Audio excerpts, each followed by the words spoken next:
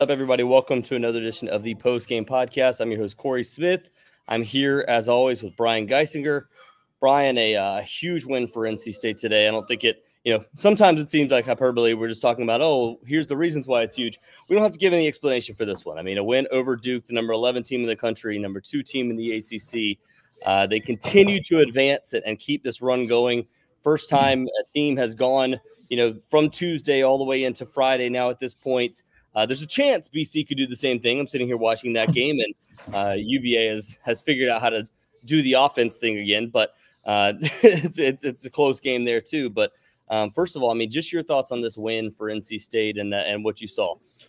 It's incredible. Like, I mean, uh, this has got to be one of the biggest wins since Kevin Keatts got to Raleigh. Um, yeah. Like, not just first, for this it's season. the first ACC tournament semifinals appearance for him first one for NC State in 10 years now at this point since 2014. And he comes against a top, a top 10 team that beat yeah. them 10 days ago. Um, you know, top 10 team in terms of adjusted efficiency margin, you know, whether you're using KenPom or Bart Torvik, a, a, team that's got a couple future pros on it. And um, and State was just like right there with them, the you know, kind of the entire game.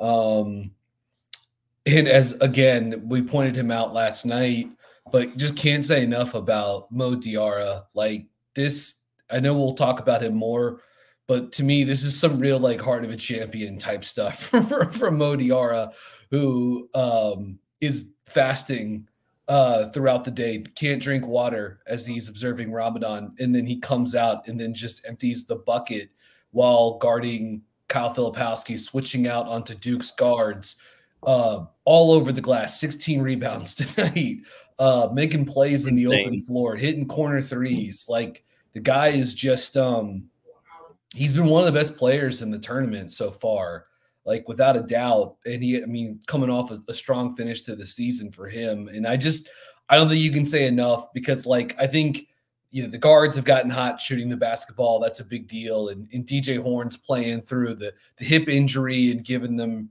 big time offense on the perimeter. But like everything is like being pieced together by Diarra. I, I really think like the work on the glass, the versatility, and and kind of just like his speed in the front court and his his length in the front court have been huge, huge difference uh, makers for this team. And um, how he's doing it, I, I honestly have no idea. But um, salute to him. Salute to state's you know medical nutrition staff that's that's you know having him ready to go and uh because he's been he's been incredible. And I thought the game plan tonight, how he was deployed defensively, was really really uh, solid and was well executed from uh, uh, by the, by the Wolfpack.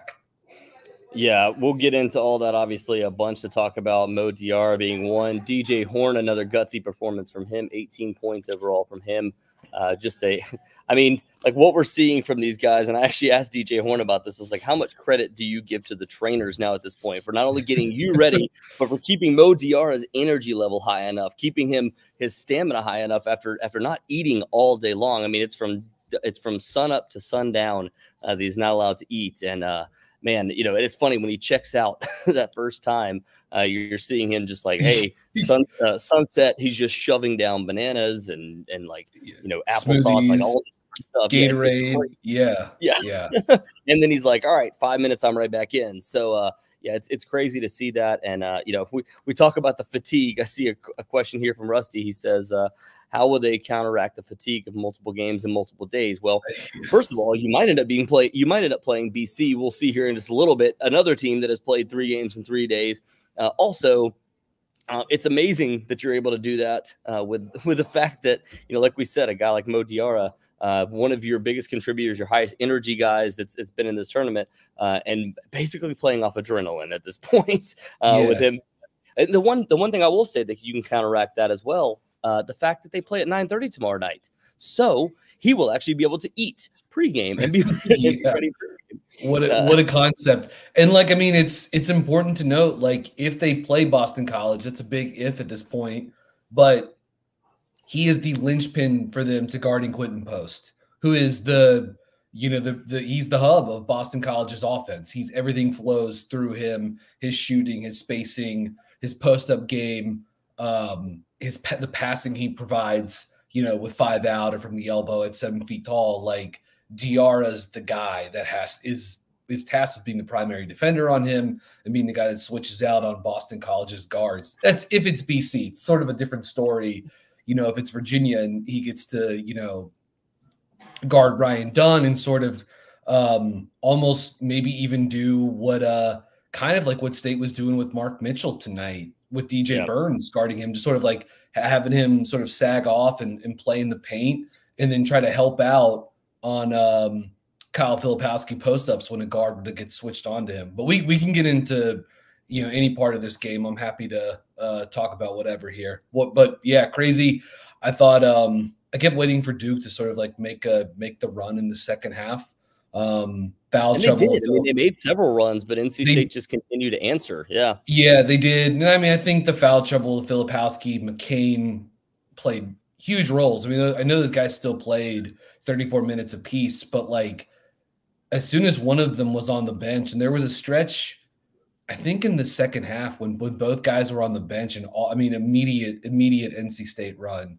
Um, yeah. They just couldn't find all, they couldn't find offense um, elsewhere. And then you got TJ Power in there. He's having trouble state guarding on the perimeter. Um, and it was a tough game for Ryan Young as the backup center for uh, for Duke. But yes, I mean Duke got zero points um, and only a couple of rebounds from its bench performers. It was the starting five, and uh, you know, State was able to lean on the bench, bringing in DJ Horne as the sort of like microwave guy off the bench. It's like also like maybe letting some guys settle into place with the starting lineup a little bit.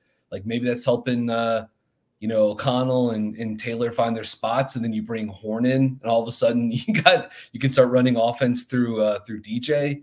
And um, I don't know, like they're not splitting the atom. Like this is this is they're largely like playing very similar to how they have all season. I just think Diarra's like will and and then really like the the offensive creation of Burns and Horne is just like kind of carrying the day. I mean, maybe they're getting better shooting from O'Connell and Taylor. Um, those guys, you know, both hit each hit a couple of threes tonight, but a lot of this is the same formula. They're just sort of like executing it better. Yeah. Well, before we really get things started, I want to remind our listeners, as always, visit our iTunes, Google Play Store. If you and give us a rating if you enjoy the podcast. Also, make sure to check us out on YouTube if you're watching this, which I see, uh, you know, between YouTube and Facebook, we've got over 100 people in here uh, checking us out. A few more than we've had in the past. So uh, appreciate you guys for jumping in. I know obviously it's a lot more exciting to talk about a win for NC State, uh, and then.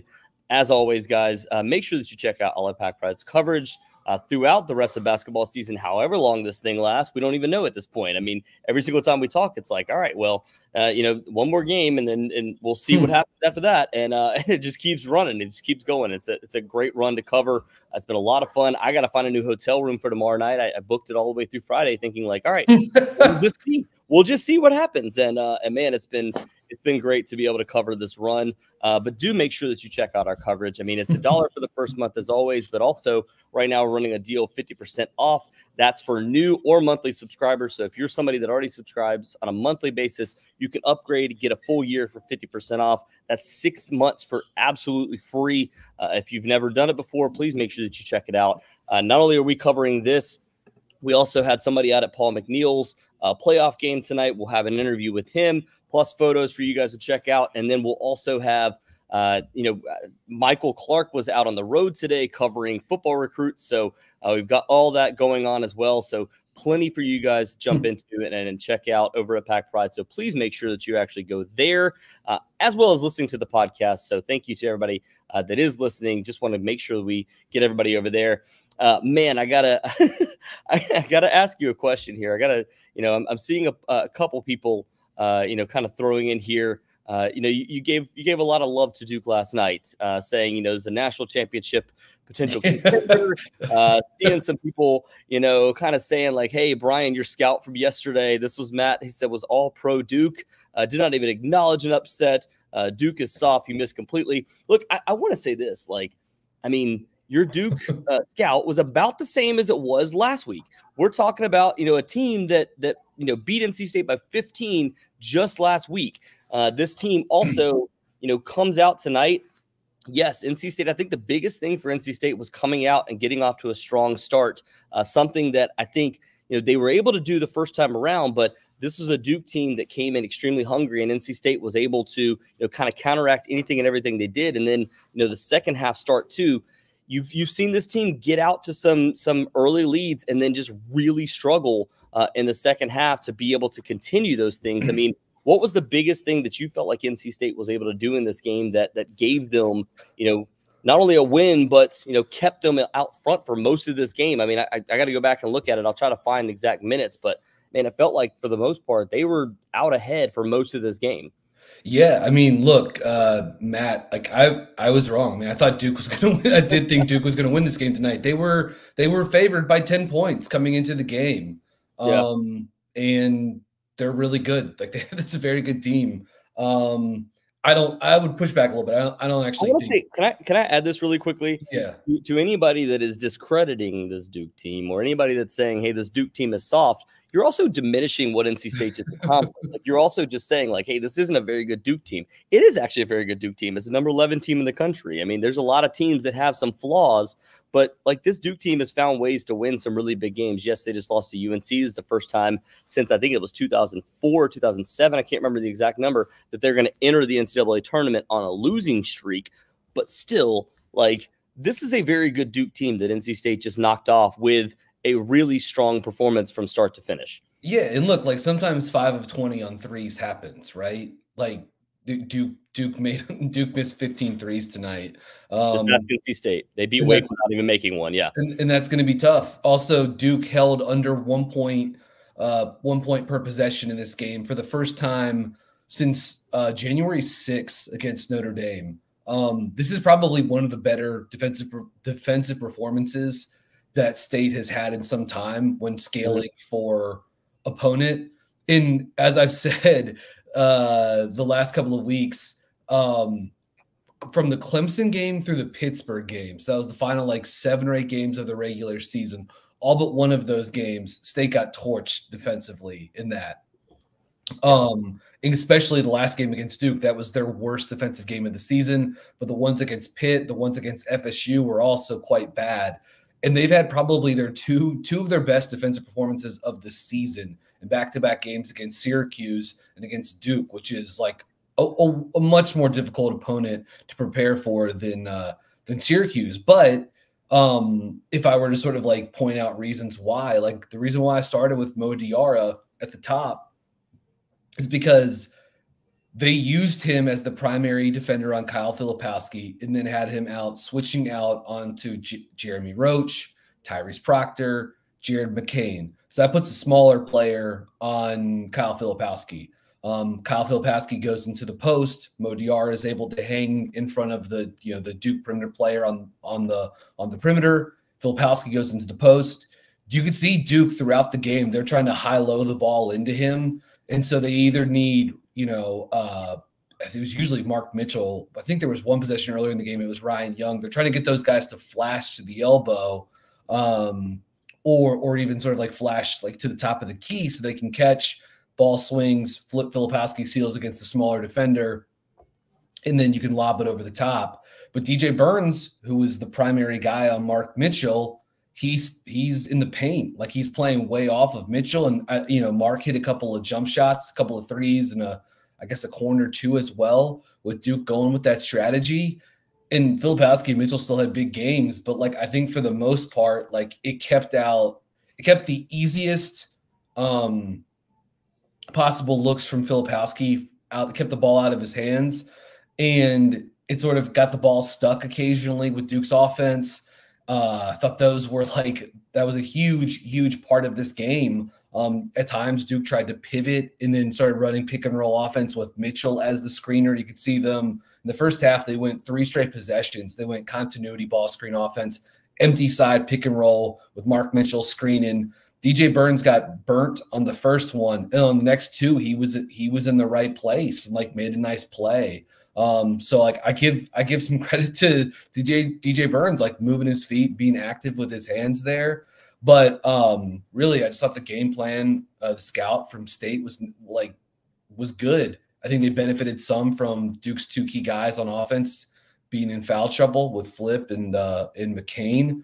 But yeah, I don't know. I just didn't think State had this level to hit defensively against that quality of, uh, of opponent, and uh, they totally proved me wrong. Um, and uh, I don't know if there was anything you know being there, Cory, that jumped out to you as far as like State, their talk defensively, how they're rotating around. Was there anything that you sort of got from from being uh, on hand in DC? Yeah, I mean, the biggest thing that I noticed from this game too was just again the continued confidence of the guards, uh, their ability to drive inside. Obviously, you know you want for all these guys to be able to hit those three pointers, and uh, you know there's there was there's quite a few. I mean, Jayden Taylor didn't have his his best game tonight, but he hit two really big three pointers uh, and then Michael O'Connell. The biggest thing that I took away from this, and I mean, obviously you can kind of tell it on TV for the most part, but you can feel the energy, and and the bench really had to kind of bring it for NC State too because they were extremely outnumbered.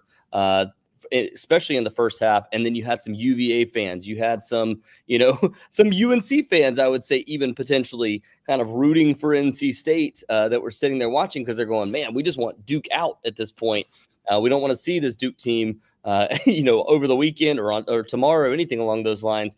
And you know, the first half, it just felt like you know the bench was bringing the energy, um, but it felt like you know each and every single time they were able to kind of slow things back down get under control that's something that we've seen this nc state team do is they try so hard sometimes to speed things up because they're down or because they're trying to get you know, you know, fool the defense in some way, shape, or form. But they trust this half court offense right now. It feels like they really just kind of trust in each other. Like, hey, it, you know, if we don't make a shot, Mo Diarra is going to be there to get the rebound. If we, you know, if he's not there to get the rebound, somebody else will pick it up. Now, granted, nobody other than Mo Diarra had more than four rebounds tonight, but there has been other other situations where like Jayden Taylor had eight yesterday. Uh, it's been, you know, it's been really, really I guess kind of reassuring to see this team really just have belief in each other now at this point and and know that hey we're going to be able to get into our offensive sets. We're going to be able to you know get shots off and, and get open looks um, and that's something that you know hasn't been there for this team throughout the season.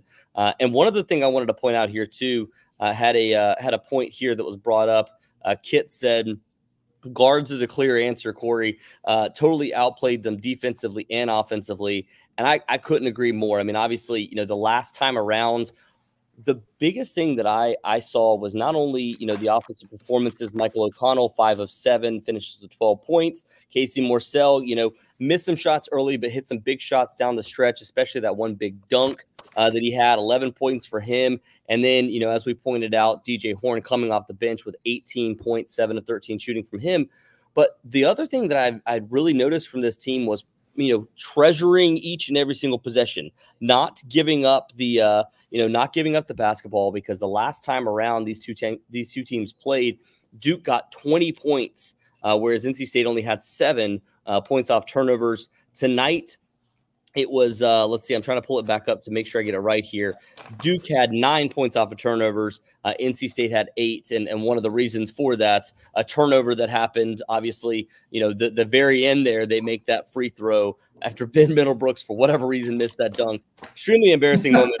That one really that one sucked for him. And then he gets a technical foul on top of it but that, yeah. that was one that was the final point that kind of put duke over the top to have nine points off of turnover so again, you just didn't make you didn't see this team, despite the fact that they played three games in three days, and they will play four games in four days tomorrow, making mental mistakes, and that's something that has plagued this team all season long. Uh, they didn't make mistakes down the stretch, and they continued to counter each and everything that Duke did. Yeah, you. I mean, the low turnovers again. Were, were like that's that is to me like um, the hallmark of this of this program under Keatts. Yep. Um, nine turnovers tonight, thirteen percent turnover rate. Um, that continues to be the thing, or part of me, pardon me, yeah, nine turnovers tonight, 13% turnover rate. Duke at the same, same numbers. Um, but uh, that continues to be like the foundation for them offensively. And then you factor in Burns making plays out of the post, um, O'Connell in the secondary, the hit ahead passes, and then DJ Horne, the tough shot making. Um, and I want to get to Horne in a second, but like Jayden Taylor hit a shot in the first half where uh, he started in the corner, the left corner. they ran like a little handoff pistol action and then sent him into the you know staggered ball screen. So it's like a little, little pistol 77 action. Sean, Stewart from Duke switches out on him. And Taylor just off the off the bounce, you know, hits a NBA range three off the dribble. So his confidence, um, you know, maybe he didn't have the best shooting game overall tonight, but hit two threes tonight, um, couple assists. So just like he's given them the secondary playmaking and shot making uh, that they need to to to accompany Horne. And and I've, I know we, started tonight talking about Diarra. Have to sing his praises, but what Horne is doing as uh, you know an, a, an undersized guard with a with a tough with a you know a hip injury right now, I just thought he hit some just like not even like dagger style threes, but ones that just like anytime you thought Duke might start to like make a run or or kind of like really chip into this, Horne just hit shots that sort of like steadied everything.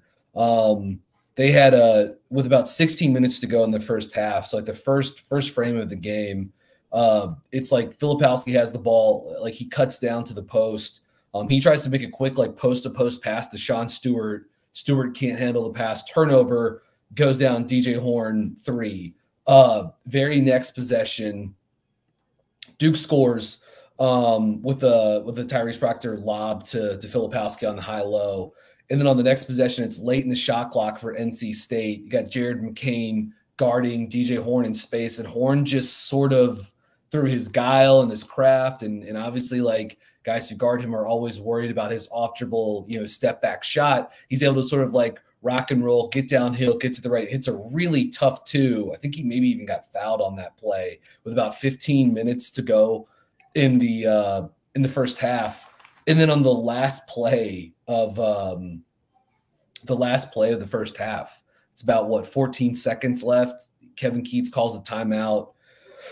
Baseline out of bounds. They run floppy action uh, for DJ Horne. He curls off the two staggered screens to his right Mark Mitchell switches out and he hit just a ridiculous shot, right? Like, and that's one of those things where, like, sort of like fading, leading runner from the mid range. And that's one of those things where you're just like, you know, good offense beats, you know, great offense beats good defense because, like, that's what Duke wants. They want Mitchell switched out there. They got it. He forced a tough shot. DJ Horne makes it.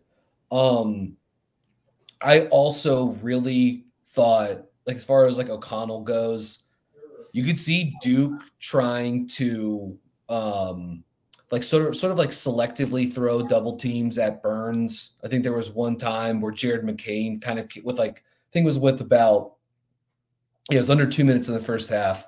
State runs a little action. They throw it to Burns in the post. Um, Burns actually missed the shot. It was like a two point shot. He misses it. Jared McCain came with a late double team and he left Michael O'Connell yeah. um, on the possession. And I thought in the second half, when Duke was trying to like selectively help off of him, um, like he made he made him pay. Like he hit some, he hit a huge three on the right wing. Um, there were a few other shots he hit where Burns, you know, skipped it over to him.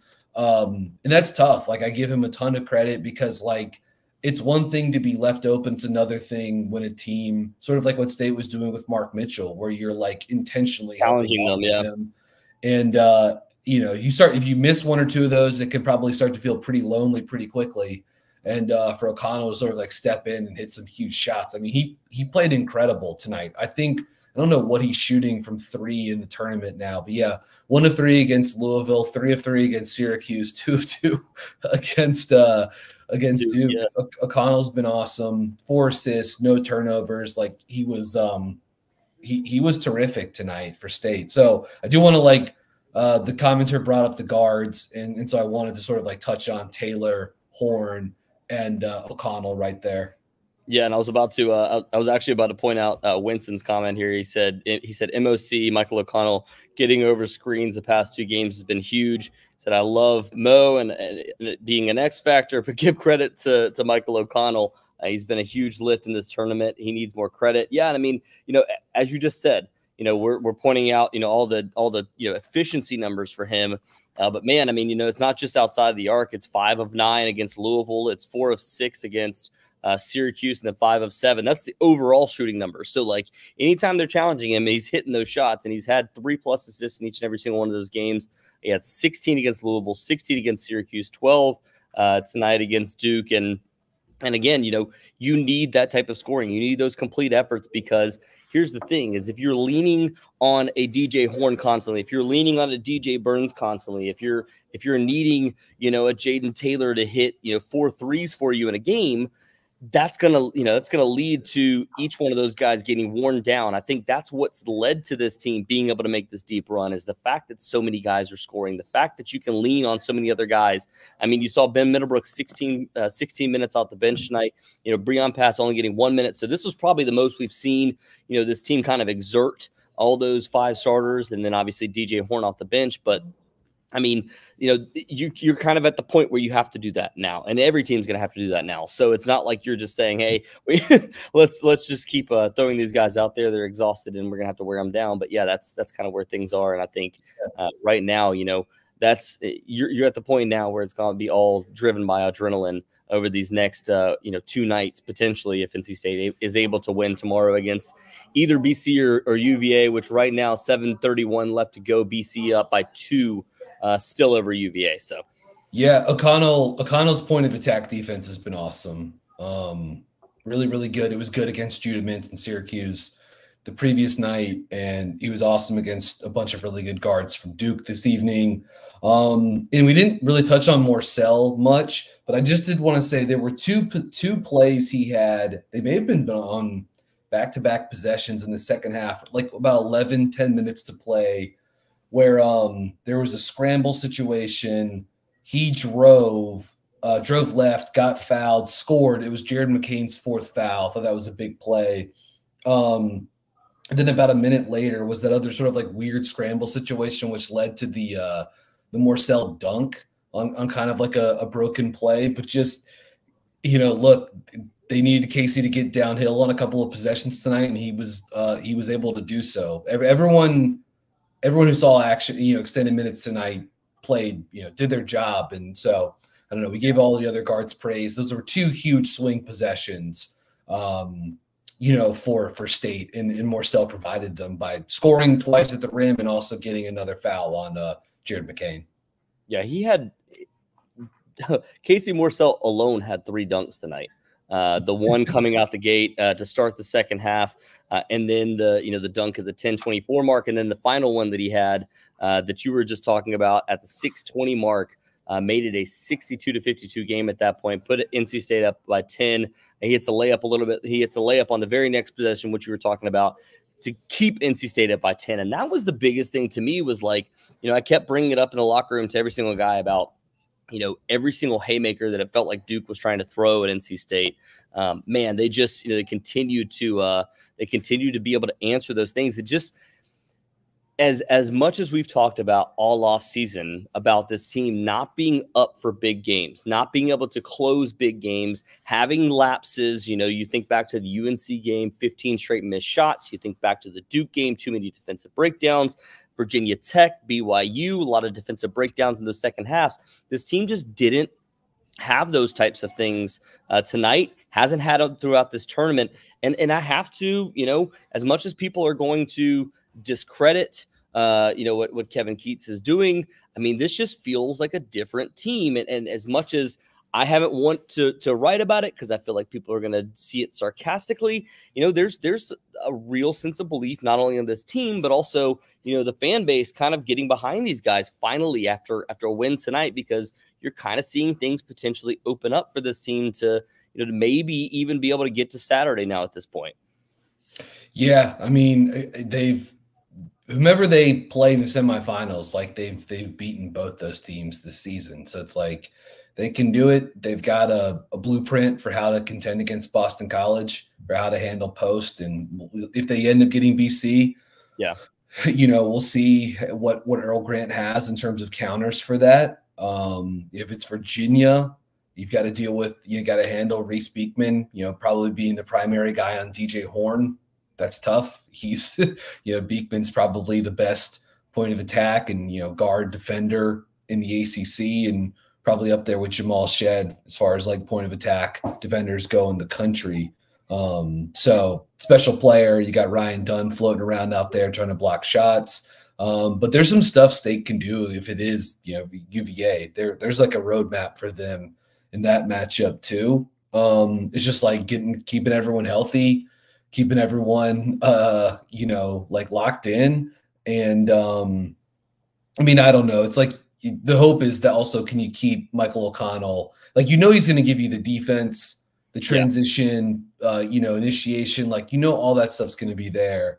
But like, can he and Taylor continue to hit perimeter shots? Because like Horne and Burns can give you an offensive foundation and stuff to play off of. And Horne can pick and roll. He can come off down screens. You see him on a lot of these baseline out of bounds plays. It's when he's coming off of a screen. It's against Syracuse too. Two guys go to him coming off a pick, and that guy who's at the screen for him is able to slip or dive to the rim, um, you know, like uncontested in the lane. So uh, his versatility as a, as a as like a guard scorer, Burns who by the way now up to 24% assist rate this season. Like he's just been he's been such a good such a good passer out of the post. Um, but if you can get the secondary scoring and, and shot making from uh, the, the the the other three main guards like that that's kind of the difference for them i think. At least at least as far as like the half court offense goes. Um, and then defensively like you know, I mean, this is as good as they've played all season defensively, and yeah. I'm not sure how to like. I mean, we've we we sort of I sort of ran through like scheme wise what they were doing, and and I, and again, I think DJ Horne you got to get or DJ Burns, you got to give him a tip of the cap, like for for hanging in there with some tough assignments at times in this game. Um, all states guard defenders for being willing to hang with Filipowski on switches. But like, it's not like those guys weren't trying and doing stuff like that this season. They're just, I don't know, man. Sometimes it's like it's not even as much as I even like to obsess over adjustments and changes and all that sort of stuff. Like a lot of times it comes down to matchups and like how well you execute. And like sometimes that's not like, you know, depends on if you're looking through that through like a results based thing or process thing or whatever. But um yeah, I just didn't think they they they could get to this level uh, defensively. We'll see if they can do it for a for a third straight game here, or pardon me, for a fourth straight game. I mean, I guess I guess I should say the defense was not great against Louisville, but it, it was, was really yeah. it was really good against Syracuse and, and Duke. And, since uh, about the since about the ten minute mark in the first half of the Louisville game, NC State's yeah. defense has been very good ever yeah. since that point. Um, yeah, and you know, again, uh, it's it's funny because like kind of I, I, get kind of what you're saying too is it's like it's not so much that Kevin Keatts is coaching different or you know the staff is coaching different. It's that guys are are finally doing the things that that you're asking them to do and they're all doing it at the same time. I mean, you're just seeing a bunch of guys playing all the roles that they've been asking them to play all season long and it's all coming together you know quite beautifully to, if we're being honest. I mean, yeah. You know, yes, it's not a you know, it wasn't a blowout win for NC State, but man, you know, this this Duke team for as much as people are calling them soft or calling, you know, calling NC State yeah. uh, you know, this is an upset or whatever. I mean, they were a 10-point favorite for a reason. NC State was expected to come into this game exhausted. Duke was expected to come into this game as the better, more athletic, uh, you know, deeper team. Uh, and NC State was able to uh to I mean, look, I'm I'm also looking at the bench points here, and obviously uh, for NC State. You know, a lot of that was because of DJ Horne coming out the bench, but they yeah. win the bench points 21 to 0. I mean, in the first game for Duke, they were forced to play their five starters, each and every single one of them, over 34 minutes. Uh, so, yes, you know, NC State was the team that's supposed to come in more exhausted, but uh, they forced Duke's hand to, to make them keep uh, as many of those guys on the court as much as they possibly could, and uh, and they were able to, you know, they were able to thrive once, like you said, Filipowski came off or McCain came off uh, they, they really were able to find their footing. And, and again, from start to finish, you put together a complete game defensively, offensively. You don't make the mistakes you did in the last game because if you go back and look at the numbers from the last game, they're actually pretty close. Both teams were pretty close. It was just that Duke got a lot more shots off because they forced the hand. They were able to get rebounds. They forced NC State to a lot of turnovers, uh, and NC State didn't make those mistakes tonight. Um, so yeah, you know, I got a question here from Winston. He said, "Is this the best coaching we've seen from KK and uh, you know Kevin Keatts, obviously, uh, in seven years?" I don't know. I don't think so. I think it's again, you know, the, the the reason why last year's team was so successful was because a lot of guys bought into their roles. A lot of guys bought into, hey, you know, Terquavion Smith is going to be the prime, you know, the primary shooter. Jarkel Joiner is going to be the primary ball handler. You're seeing, you know, Michael O'Connell uh, play with some poise uh, over these last three games. You're seeing, you know, DJ Horne being able to get to the lane, being able to hit, you know, big shots and hit big threes. Uh, you're seeing Jayden Taylor, you know, not always, you know, efficient, but consistently being able to hit big shots. Uh, and then I had a comment here from uh, from Bart. He said uh, O'Connell is throwing rainbows. He's changed his shot for the better. Uh, it's funny. I actually asked him about that. He said he's gotten a bunch of questions from you know other guys on the team, like, "Hey, what what what's going on with your shot?" Uh, and he said, "I didn't feel like I changed it, but it's just falling, so I'm going to keep shooting it." Uh, and and yeah, I mean, you know, when you go five of five over the last two uh, games uh, from three point range, you're not asking him to shoot a lot, but you're just asking him to make some of those. Yeah, that the when he can hit like spot shots. It doesn't. It's not even like you know you need O'Connell to be this like you know pull up shooting. Yeah. Uh, you know, uh, st- star or anything like that. Like you got like that's that DJ Horne's there for that. But just O'Connell being able to hit like spot up threes, you know, catch and shoot threes because he does so much. Like he's already a good player, right? And he, yeah. he does so much good stuff defensively uh, you know, getting the secondary and transition game going, the way he moves without the ball as a cutter in the half court to sort of like mitigate some of the like, you know, shooting limitations. But all of a sudden, like he can just be a good catch and shoot guy on, on the second side, it it makes him, I mean, it makes him a very, very good player. like it, it it just raises his uh his ceiling as a, as a as an offensive player like dramatically and that in turn like really boosts state's half court offense too so um, yeah, I mean, they need him to keep, they need him to do it again tomorrow, regardless of whom the opponent is, because like that's becoming a, a pretty crucial part. And they need him to keep bringing it at the point of attack defensively and you know, switching around and, and, uh, and then when Mo Diarra grabs an offensive rebound, like getting ready to get state going in in, uh, in transition too. Yeah, and I've got a couple people here pointing out. You know, I said this was a this was a game where NC State didn't necessarily blow Duke out or, or run away with it. Uh, and David is pointing out some pretty good points here. He said breaking free throws at the end, uh, hit four of them, and, and NC State wins by you know wins by you know well I guess that would have been nine points right there. Uh, and they, you know, they did miss quite a few down the stretch. You know, we've seen that at times rear its ugly head. But yeah, I mean, 55% free throw shooting on the night, not great. But when you, you know, when you have as efficient of an offense as they did, uh, it kind of covers that up. And that's been the thing is it's like you've needed the free throws at times to cover up an inefficient offense. And tonight it was the opposite. Uh, yeah. Art said the same thing. He said, you know, it was a blowout except for seven missed free throws at the end, uh, dunk and a tech. you missed a dunk and the, and the, technical foul to give Duke a, a, free throw on the other end. So just a, a, weird, you know, ending. But again, NC State able to withstand all those things too. Yeah, the I mean the Middlebrooks dunk was a, a, I'm sure like a lot of people's heads just started like rolling off of their shoulders like as that as that happened. Um you, you certainly got to feel bad for him. Like, I mean, that's a dunk yeah. that he makes 99 out of 100 times. He's a really good player. Um, but I think more than anything was that they actually, you know, they got to the line. And this wasn't some crazy, you know, they obviously they missed a, a fair share of free throws tonight. But to me, the um having that many attempts and like that, uh, you know, a plus 30 free throw attempt rate um, is speaks to a team that's getting the ball into the paint, getting the ball to the post, um, or and also you know playing with a lead late in the game too, and and therefore like you know getting some uh, you know some sort of like end of game fouls too. But just like that is an indicator to keep to always track for NC State, really any team. But I think a team like State that is so that too often this year has been like reliant on like mid-range twos that what the free throw rate is an indicator of is just like get, they're getting easier points and it probably means they're getting the ball to the rim more frequently too. So um yeah even though they missed nine free throws tonight getting the getting the 20 attempts uh was uh substantial for them. All right. Well i was hoping that maybe uh we'd be at the end of this uh this virginia or bc game uh and maybe we'd be able to figure out who exactly was winning by that point who was going to run away with it uh, but as we know, Virginia, uh, the offensive juggernaut that they are, uh, you know, not able to to quite withstand what uh, what BC's throwing at them. It's 55 to 53. So I'm going to throw this out. Uh, your thoughts on on either one of these games, or you know how NC State matches up with them? Because obviously, you know, they've beaten they've faced both of these teams twice.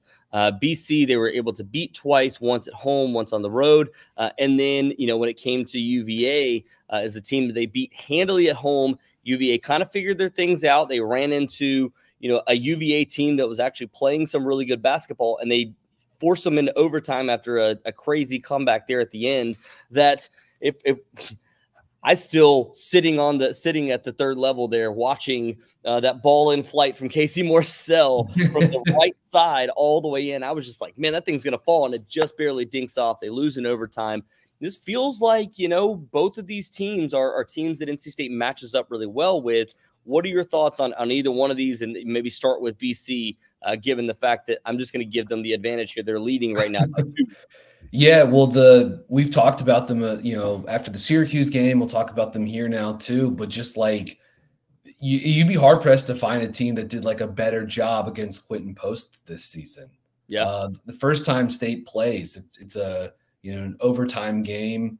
Uh, Post scores uh, 18 points in the game, but 0 of 2 on threes, uh, four turnovers in that game. Then they play again, you know, towards the end of February.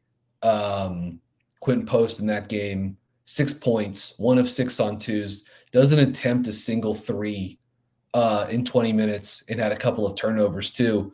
I just think State does a really nice job with Mo Diarra. Again, I, I, forgive me for just bringing this up again, but him, him, what like he did tonight, being the primary defender on Filipowski, his ability to switch out and hang with any of Boston College's guards, and like they've got some, you know, Claudell Harris, uh, Jaeden Zackery, Madsen, like they've got some decent guards, but too, yeah yeah, exactly. In but but they're not as they're not quite as like terrifying as you know Roach, McCain, or or RJ Davis, and you know like those kinds of like real like high end guards uh, in the ACC, and you know Jar can hang with those guys. And when that's when you switch like that, it means you stay at you keep the ball in front. And Quinten Post, who wants to get into those pick and pops because he, he's shooting 43% on threes this season, and because he's a really good passer, if you stay out of rotation against those looks, then he's not open on the pick and pop. Your, your defense keeps the ball in front. You flatten out the offense. So his next best guess is to try to then go into the post. And that's when NC State has been, when they've played twice this year, as, scram switched. And they've taken either Middlebrooks or Burns, and they've had that player go to grab post, and then they kick out the guard who's ever switched on the post, whether it's Horne, O'Connell, Morsell, whomever that person will then go to BC's power forward. Um, and it's it's worked. Like it's worked, it's worked very well. Um, and then I think, you know, offensively, you got a guy like Burns that can be a that can be somewhat of like a mismatch problem for those guys to to handle. Like, are you going to put Quinten Post on him and risk him maybe getting in foul trouble? Um, you're also pulling, you know, a, shot blocker maybe away from the basket because Burns is going to, you know, uh, isolate so much in the mid post and post up there and look for cutters and stuff like that. So I do quite like the the matchup uh, against Boston College. As far as UVA goes, like Beekman's tough. Um, you think about him on Horne uh, with you know how Virginia's going to hedge screens and and try to get the, you know, they're they're automatically they're going to hard hedge ball screens. So how do you counter that? I think someone like Ben Middlebrooks actually becomes like a big potentially like a big piece because he can short roll into space. You know, Horne can throw pocket passes to him, and he can look to you know make plays on the short roll, and he can kick out to Casey Morsell for a three, or he can kick out to Jayden Taylor for a three. When State beat UVA uh, in Raleigh in and I guess that was in January, like they were really really good at attacking those those hard hedges by UVA. You know, they're running. I think it was with O'Connell, and they had they had horns spaced on the on the right wing. And so just like every time uh that was kind of you, the breakout game for O'Connell too. He had five assists in that yeah, game and turnovers. Yeah. Yeah. And just like every time UVA would get into rotation, uh eventually they'd they'd be able the state could work the ball to to Horne out on the wing. Um, so it's like there's stuff you can do against them. Again, I think Middlebrooks becomes like really important uh, in in that matchup. I guess the thing, the thought is like with Virginia, like that game will just get into the mud. Like it's going to because they're an elite top end defense. They're not a very good offense, but the way State's playing right now, it kind of feels like they would like a game in the mud. You know, like that they brought Duke into the mud tonight. You know, and uh, and so it kind of thinks like State would would almost do pretty well in that kind of you know low turnover environment with the way their offense is is, is clicking right now and, and really avoiding turnovers.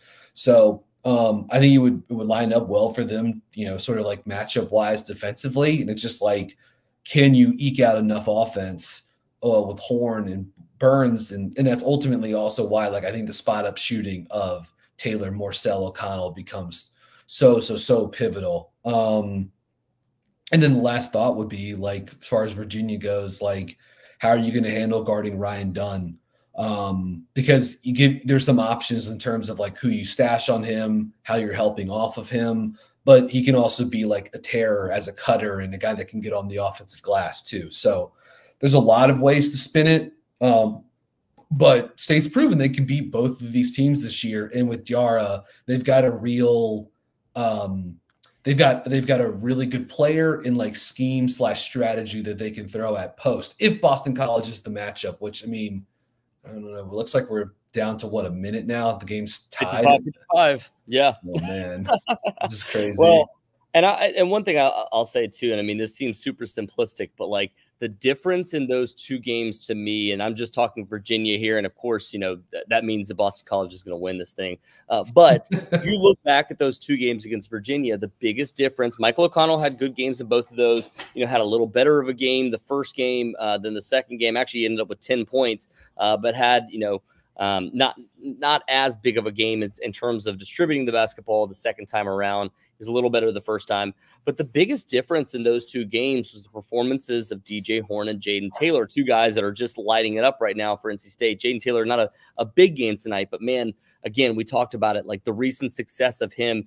I would expect him to potentially bounce back. Uh, and and you know for, for NC State, it's going to come down to those two guys because first matchup, uh, they combined for 29 points. They were both efficient, both shot over 40%. Uh, and then the last game, uh, Jayden Taylor, two of six, four for four points. DJ Horne, three of 12. Uh, all three of those were three pointers. Uh, and he finished with nine points in that second game. It just feels like for, for NC State, it's going to come down to, again, those guys stepping up. But I mean, the same thing. If, if Mo Diarra gets the rebounds that you got that he got against Boston College the first time around, if he continues to play at the the clip he's playing at right now, and again, uh, he's going to go in with a little extra energy in that one tomorrow after being able to actually eat before the game. Uh, it just feels like this this team has all the makings of a, a, team that can that can win this game and try to, regardless of the opponent, uh, and try to get into Saturday. Uh, and we'll see who they end up facing if, if what, they get to that point too. What I would say, I'm, I'm watching. Uh, it's 55-55. Yeah, 40 uh, Jordan Minor. Yeah, Jordan Minor just missed the front of a free throw. But what happened? Uh, or not the front end. Missed the, yeah, missed the first of two free throws here. But what happened on the defensive possession for UVA before this is a good reminder. Like BC tried to throw the ball to Quinten Post, like on the left block area. Um, in Minor, they, they didn't come to double team. Minor guarded him one on one and blocked his shot too. So like if it is UVA, it does become the equation with Burns. Like how much do they just guard him one on one with Minor versus yeah. use double? Minor was the difference between those first two games. He was huge. Minor he didn't was, play in the first game, and he, he was yeah yeah he, he had kind of gotten going. Uh, that was when that was when he kind of got into a little Yes. bit of a scare there defensively and got something going offensively. I mean, I'm Yep. looking back at it now, ten points in that game. Uh, did have one block, but you know the the um, you know the six offensive rebounds for him to keep them uh, keep those possessions going for them too. Wow. All right. So it was pretty uh minor missed both for both free throws. Boston College, kind of a gross possession. They throw the ball to Quinten Post again on the left block. Uh, he misses. Then while going for the rebound, uh, uh Madsen uh, fouls Jake Groves from UVA. He's a very Yep. good, very just- good shooter. made both of them. He made both. Okay, so I'm, on YouTube TV. I'm a little- so Yeah, I'm a little, I'm a little you. I'm a little heavy. It's 57, 55 right now. we this podcast is just turning into breaking down this game, but no, um, you, you want to know who they're going to play. So, yeah, I uh, wasn't sure if we were trying to like uh, get to that point or if I was uh, just absolutely boring everyone to tears by recounting what's no, happening. We got, uh, yeah, we got right eight now. seconds left. Oh, oh, he missed the three pointer. So you've not gonna, oh, are they gonna get another one off? Oh, he made it. Oh my gosh, he made it. I don't know if that was a two or three. It looked like a two.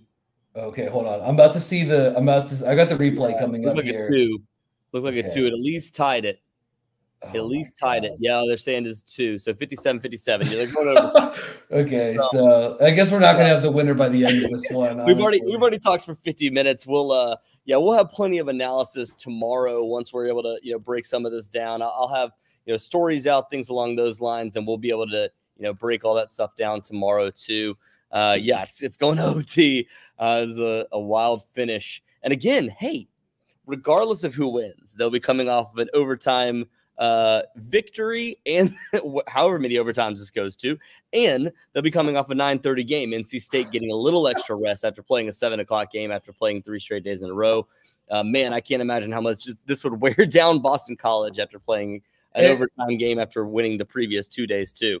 Everyone also reacted to this Boston College shot like he had won the game. Yeah, yeah. He made like like 20 people with cameras and phones like flooded onto the court. like like he hit the game winner. That was incredible. Like Stanford, the band is on the field. that was unbelievable. Um wow. Which was a buzzer beater regardless. So yeah, it was I mean it was still an unbelievable shot, but that was just pretty funny because like people yeah. reacted like he had absolutely like iced the game there. But um, all right, yeah, looking forward to seeing how this game finishes up. And uh, I love this. I'm sorry, I gotta I gotta post this. I love this suggestion here. Bart said, "Now you can talk about the Anae offense." So let's, let's, get into NC State football. No, let's not do that. Um, I've got uh, yeah, wouldn't be much help either. I'm not gonna lie. Bart said the run pass option. Let's let's let's talk about that. No, uh, yeah. Now look again. Um, you know, big win for NC State tonight. Uh, can't you know can't overstate that. Regardless of what happens over the next two days, this run has been unbelievable to cover, to discuss, um, everything along those lines. Man, I've uh, you know I've really enjoyed being here in DC, being able to watch all this. Uh, but man, now I've got to go find a. Uh, got to go find another hotel room because I booked all the way through Friday. I don't have a hotel room for tomorrow night for me and my guys. So uh, yeah, we got we got to go figure that out and uh, and then finish up some of these stories. So uh, Brian, any final thoughts before we head out of this thing, man? No, uh, I would just say like ACC tournament, man. It's uh it's always a treat. Enjoy being up in DC. Uh, I wish I was up there, but having fun watching uh, watching games from back at the uh, the home office here in Raleigh. So yeah, everyone just enjoy the games uh, tomorrow. Uh, should be hopefully a good semifinals. Yes, sir. All right. Well, thank you again to everybody for listening. Like I said, we will have plenty more content off of this game, off of whoever NC State's opponent is tomorrow, and you know we'll we'll probably write a little bit about the uh, you know the doubt that this team is is playing off of right now.